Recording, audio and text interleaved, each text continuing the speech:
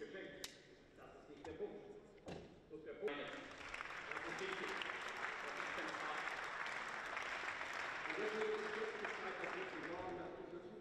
Denn dieser Krieg wird durch Wille und durch Logistik entschieden. Und da kann Deutschland mehr tun, als es jetzt tut. Und das relative Desinteresse der Bundesregierung wird auch schon dadurch deutlich, dass der einzige Minister, der die gesamte letzte und diese Debatte daran teilgenommen hat, Herr Bundesminister Pistorius ist. Ich würde von Bundeskanzler Scholz in dieser Situation einmal wissen, was denn das ganz große Problem mit der Lieferung der Taurus-Raketen nun ist. Niemand weiß es. Niemand weiß es.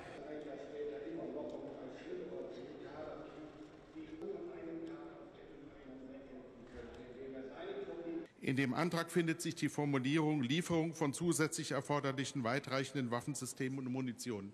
Umfasst das für Sie Taurus oder nicht? Ja oder nein? Das kann ich nicht beantworten.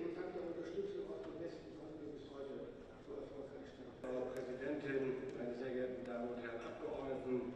Ich will Ihnen mal eins sagen, wenn Sie auf der Münchner Sicherheitskonferenz unterwegs sind, auf den Verteidigungsministertreffen in Brüssel oder bei der NATO oder auf Shangri-La oder anderen internationalen Begegnungen, dann hören Sie eins immer wieder, dass Deutschland Bewunderung erfährt für das, was es leistet im Kampf der Ukraine, dass Deutschland bewundert wird für die Konsequenz, mit der Sie nach anfänglicher, anfänglicher Zögerlichkeit Fahrt aufgenommen haben. Und es ist so typisch für uns. In aller Welt werden wir bewundert für unsere Leistungsfähigkeit, und hier redet uns die Opposition in Grund und Boden. Vielen Dank dafür, meine Damen und Herren.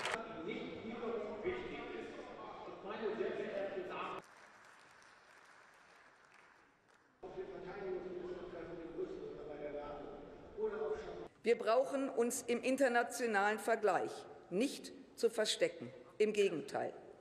Und umso tragischer ist es, dass wir seit Monaten darüber streiten, ob wir der Bitte der Ukraine nachkommen, den Marschflugkörper Taurus in Ergänzung zu allen anderen gelieferten Waffensystemen zu liefern.